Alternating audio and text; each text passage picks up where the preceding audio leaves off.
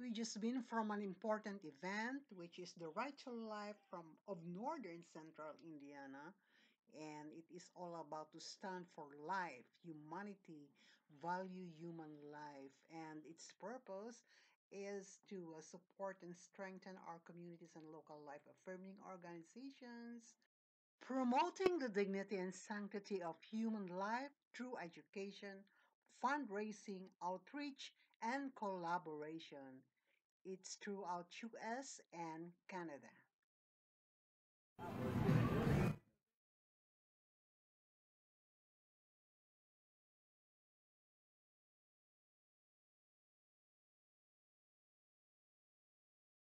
There we go.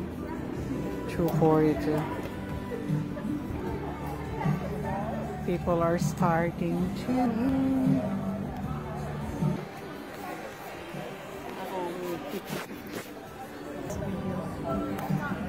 Our vision statement is a culture that protects values and respects the God given life of every human being from conception to natural death. Hope everybody will connect with us.